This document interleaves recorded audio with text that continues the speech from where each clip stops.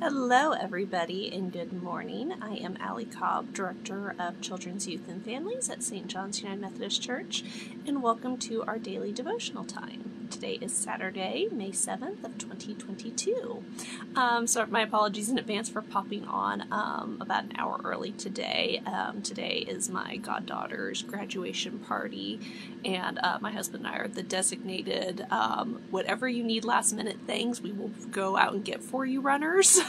Um, and we ended up with a little bit of a list this morning, so we wanted to be able to run out and get those items before her party um, and everything. So I figured I would hop on here here real quick um, to spend some time with you guys um, before um, I need to head out so that way I'm not doing this um, on the road. Because um, cell service isn't the greatest here so with my luck um, I would end up trying to do this from the road and there'd be no cell service because it's about 45 minutes to get into town to get the items. So God bless ruralness. I don't miss. I I, I miss um, city living, so to speak, um, where you can just like hop out to the store and then hop back and everything. Where here it takes a little bit more um, coordination, so to speak. So thank you everybody um, for that flexibility today, um, so that I can spend some time with um, good family friends and everything. good morning, Shirley and Linda and Barbara and Chris. Thank you guys for hopping on early with me. I appreciate that. if anybody's watching at our normal time or even a little bit um, later on today, if you wouldn't mind leaving a comment below. We always enjoy knowing that you stopped by. Um, today we will be in the book of Job, so if anybody has their Bibles with them and would like to follow along, we will be in the book of Job, chapter 38. Um, hopefully, everybody is doing well this morning and having a good start to their weekend. Um, I know that we have a few St. John's folks that are um, a bit under the weather right now, so we'll say an extra prayer for them um, and quick healing as well today. But just keep those folks in your thoughts and prayers um, this weekend, and if there's anything that they might need, maybe reach out and see if you can be um, a friendly neighborhood DoorDash and leave supplies on their um, front porch. I know I did a little bit of that this week. So just keep those folks in your thoughts. Okay, let us begin. So, Job chapter 38, verses 1 through 11, and I will be reading out of the Common English Bible. Then the Lord answered Job from the whirlwind Who is this darkened counsel with your words lacking knowledge? Prepare yourself like a man. I will inaugurate you, and you will respond to me. Where were you when I laid the earth's foundation? Tell me if you know. Who set its measurements? Surely you know. Who stretched a measuring tape on it? On what uh, were its footing sunk? Who landed its cornerstone? While the morning stars sang in unison and all the divine beings shouted. Who enclosed the sea behind doors when it burst forth from the womb? When I made the clouds, it garmented, the dense clouds it wrapped when I imposed my limits for it, put on a bar and door, and said, You may come this far, no further where your proud waves stopped. And our focus verse for today is I know the plans I have for you, says the Lord. Plans for your welfare and not for harm, to give you a future with hope. Jeremiah 29:11 of the NRSV. And our thought for today is I will trust God's a good plan for my life. And our prayer focus is to trust God's plan for me. And our author for today, um, let me see if I can see who our author is. I don't see if I am not seeing it online um, with our da- online daily devotional. It's always printed. Oh, here it is. Sorry. Um, I think I mentioned this um, when I did devotion on Thursday. I packed my book. I know I packed my um, paper copy of the online or of the, our daily devotion, but now I can't find it um, and everything else that I um, packed for us to be out of town. So I'm doing it from my laptop. but our devotion today comes from Samuel Wagner of California, and these are his thoughts for today the land of what is. I told my new roommates that, that the renovations to our rented apartment would be complete before school started. But there we were, with a week of online school behind us and still no apartment. I felt responsible and blamed myself. What if I had committed to more with our landlord? What if I had what if I had communicated more with our landlord? What if I had found another place as a backup? What if? What if? What if? It is easy to get caught up in the land of what if. But as I thought over scripture, I remembered the words from Jeremiah's from Jeremiah quoted above and God's words to Job.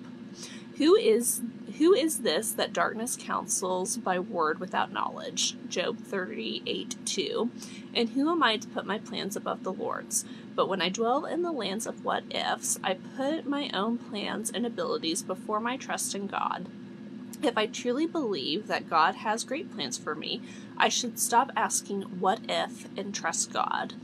Now, as I sip warm coffee at the breakfast table in my completed apartment, happily moved in with my roommates, I try my best to live in the land of what is, the place where God lives.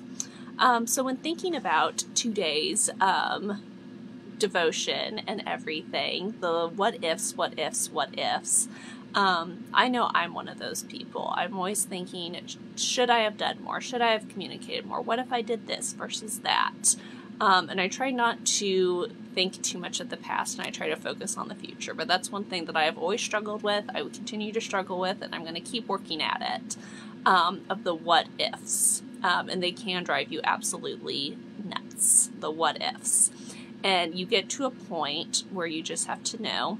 And our author said what is, but I always say it is what it is. Um, I tried my best, I tried my hardest, and sometimes there's only so much that you can do, and then it is what it is. Um, there's a bigger, greater plan out there, um, and I'm just kind of along for the ride. We like to think that we're in control, but we're really not. Um, and when thinking about um, specifically today, um, our sweet goddaughter, she graduates tomorrow at 2 o'clock. We're so excited to see her. Um, but with our prayer focus be to trust in God's plan for me. Um, I remember her when she was little itty bitty. Um, I actually taught her Sunday school class when she was four years old, and she was the flower girl at our wedding. And she has all of these plans of what she's going to do this summer and the college that she's going to go to. Um, and me having a little bit more life experience than her, I know that she's going to have such a great and wonderful time, but she's about to start um, the adult portion of her life in that ride. Um, and part of what I've told her is, you know, just trust in God's plan for you. Um, you can do your best to plan, um, but whenever we make plans, God laughs, so to speak, because God has a bigger plan for us. Um, and we can do our best in everything to follow God's plan, um, but it's going to differ from what we had envisioned for ourselves. Um, and you can get caught up in the what if I had done this and what if I have done that. Um, but in my life, whenever I've been able to look back um, on those hard learning, painful moments, so to speak, where the things that didn't turn out to m- my plan, they were part of God's plan, um, I'm almost always able to look back with a little bit of happiness and gratitude that it was God's plan and not mine, His will to be done, not mine.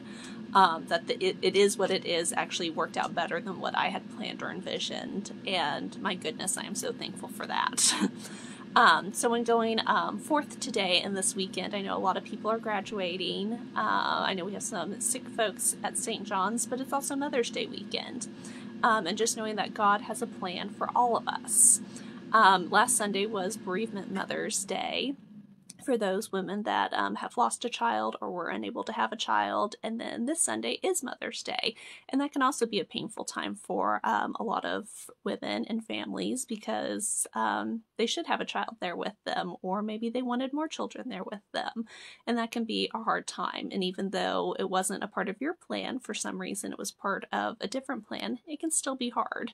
Um, so maybe also to just going forth this weekend and everything, if you know um, of anybody in that boat um, who has either lost a child or was unable to have um, the children that they had hoped and dreamed and visioned for.